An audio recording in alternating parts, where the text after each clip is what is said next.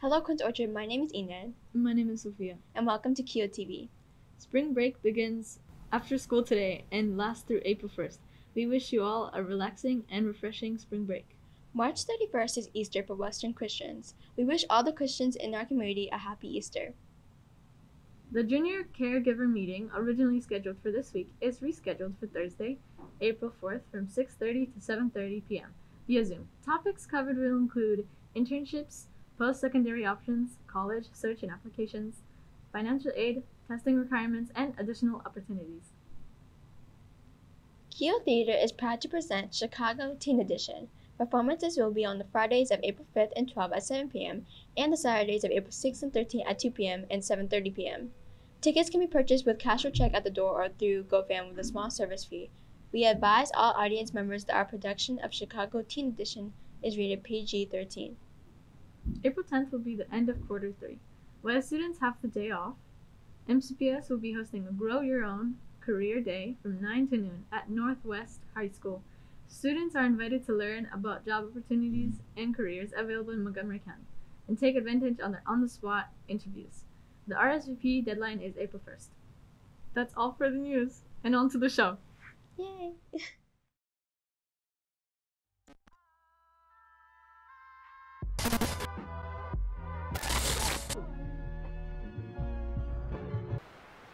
I'm vlogging. I'm vlogging. I ain't get to vlog I'm yet. vlogging. Yeah.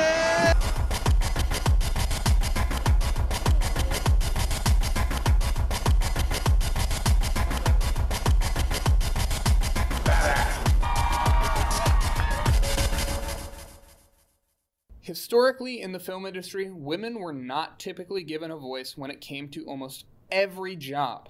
Female writers and directors were very rare, but recently things have been changing for the better.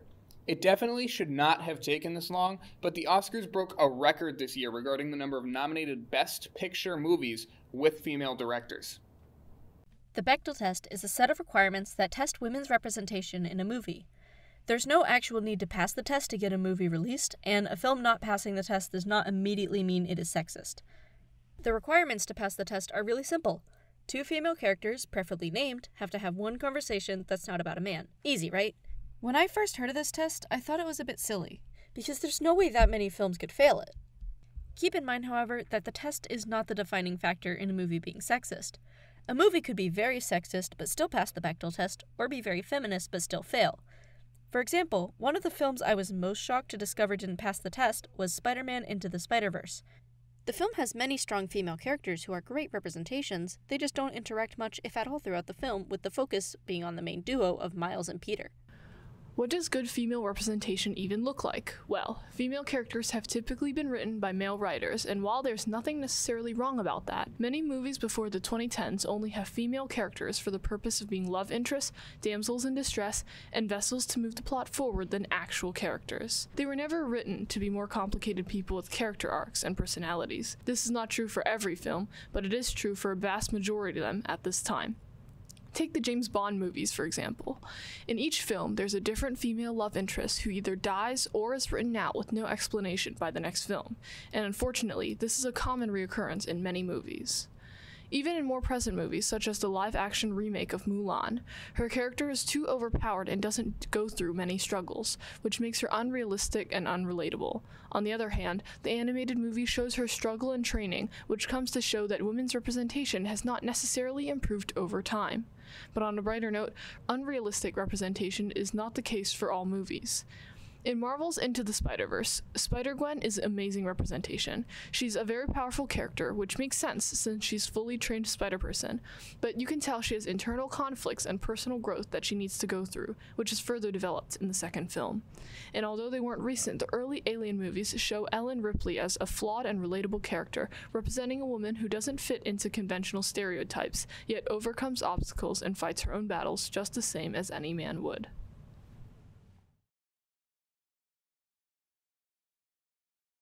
Choose a cast member to put on a show-stopping double act with.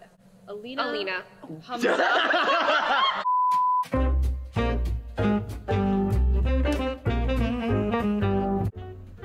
Hello, I play Velma Kelly. Play Roxie Hart. Well, I'm playing Amos Hart. I'm playing Matron Mama Morton. And I'm playing Billy Flynn. And I'm playing Miss Mary Sunshine. Today, we are taking a BuzzFeed quiz to figure out what Chicago character we really are. Choose a reason you might want to get rid of your significant other. They pop their bubblegum really loudly. I would murder someone for that.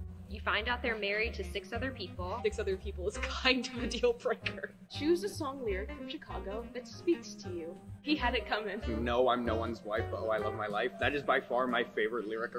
You're just bagel. You're just bagel.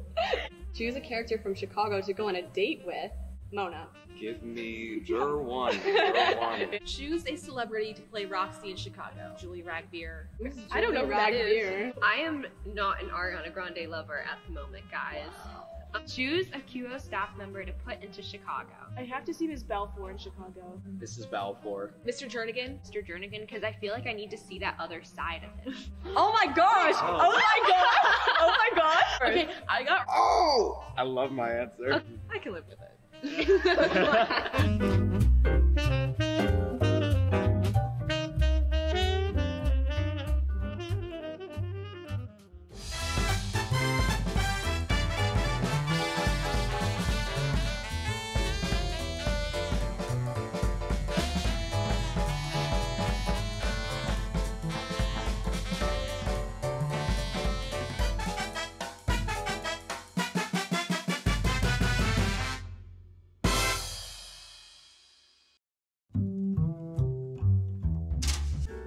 Rosa Parks' activism led to which key movement in the civil rights movement? The Montgomery bus boycott, Greensboro sit in, or the March on Washington? Bus boycotts. Yeah. Which disability and women's rights activist was known for being the first deaf blind person to write a book and earn a bachelor's degree?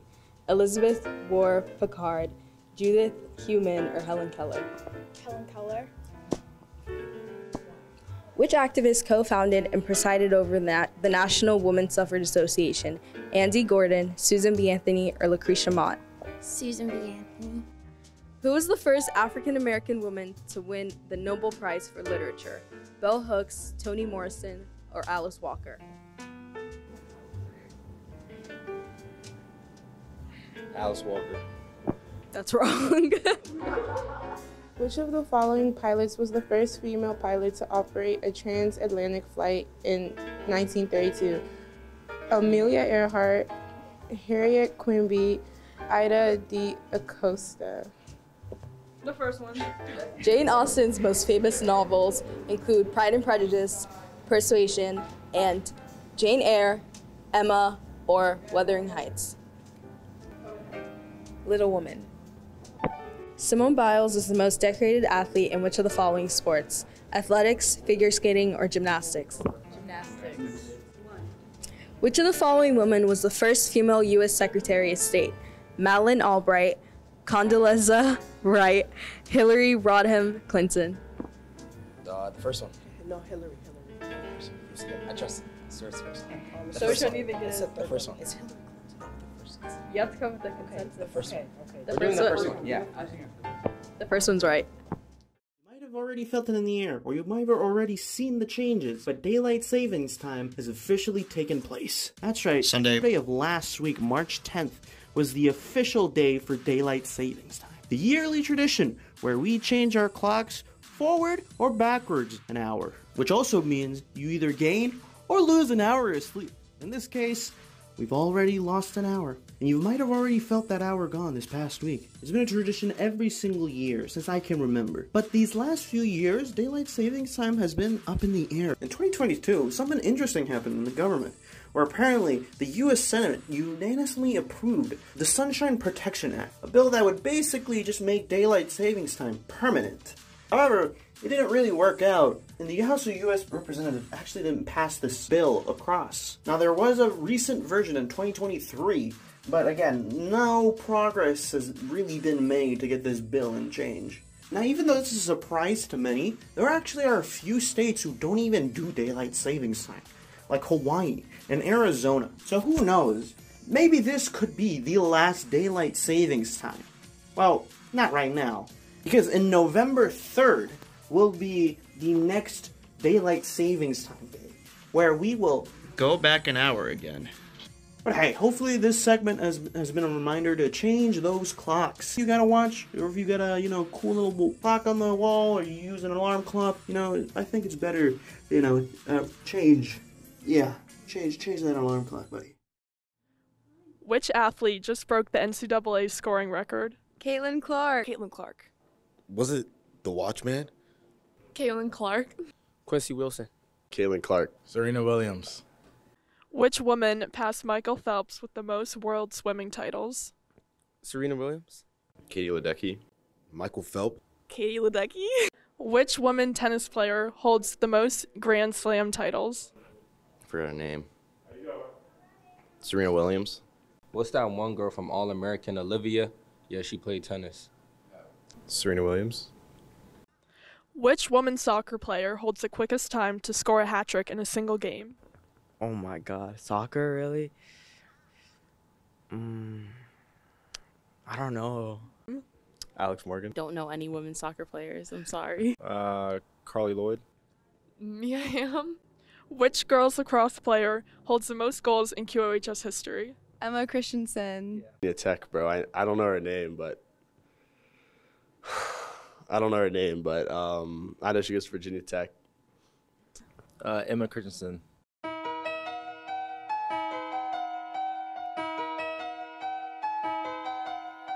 Joy, joy.